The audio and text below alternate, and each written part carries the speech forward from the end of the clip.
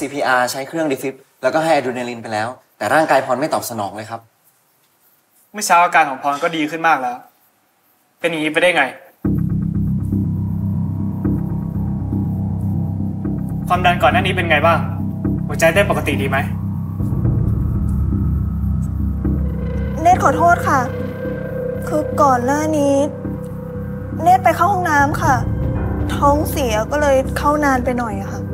แสดงว่าคุณไม่ได้อยู่ในห้องตอนที่คนไข้หยุดหายใจ ค่ะ แล้วใครเฝ้าคนไข้ ไม่มีค่ะ คือ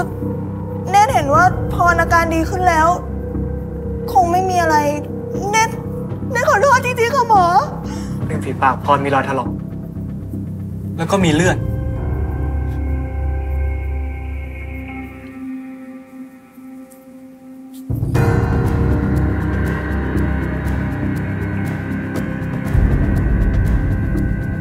ซอกเล็บเหมือนมีเศษเนื้อแล้วก็เลือดติดอยู่ด้วยนะ ขอผมดูหน่อยครับ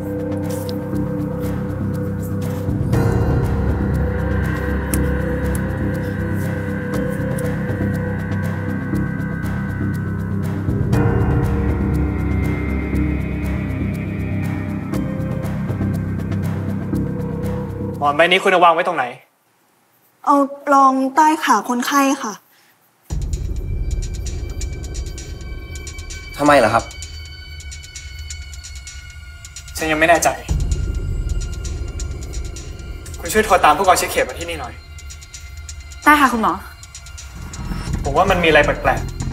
ๆ เมื่อเช้าอาการของพรก็ดีขึ้นมากแล้วทำไมอยู่ๆหัวใจถึงหยุดเต้นได้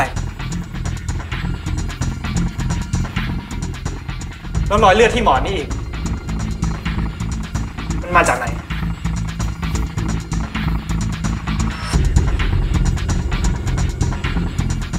คุณฉัดกำลังสงสัยว่าพันพรถูกฆ่าปิดปากเหรอครับ ฉันก็แค่คาดการณ์จะใช่หรือไม่ ต้องรอฟังทางตำรวจอีกทีผมคิดว่าทั้งสองคนน่าจะไปเจอกับขบวนการค้ายาเสพติดเข้า ก็เลยถูกฆ่าปิดปากครับ พวกค้ายาไม่ได้ว่าถูกกวาดล้างไปหมดแล้วเหรอครับ ยังครับคุณหมอ เท่าที่ผมทราบพื้นที่นี้ยังมีการลักลอบค้ายาอยู่ แต่เราก็ยังจับตัวการใหญ่ไม่ได้เลยครับ สารวัตรพิชัยโทรบอกผมว่า ญาติผู้ตายไม่ต้องการให้ตรวจศพอีก ต้องการให้ฉีดฟอร์มาลีนและนำศพไปทำพิธีที่วัดทันทีครับ แต่ผู้กองชิดเขตได้คุยกับป้าแชลมไว้แล้วนะครับฉันแลมเพิ่งโทรกับผมเมื่อกี้เองแกขอให้ยกเลิก แกกับลูกสาวบอกว่าไม่ต้องการให้ทำอะไรต่อทั้งนั้น แต่ผมอยากคุยกับผู้กองชิดเขตก่อน ผู้กองชิดเขตไม่อยู่แล้วครับ ถูกคำสั่งย้ายด่วนย้ายด่วน ครับ ตอนนี้ผมรับผิดชอบทั้งหมดครับ ถ้าคุณหมออยากจะคุยอะไรเนี่ยคุยกับผมได้โดยตรงเลยนะครับ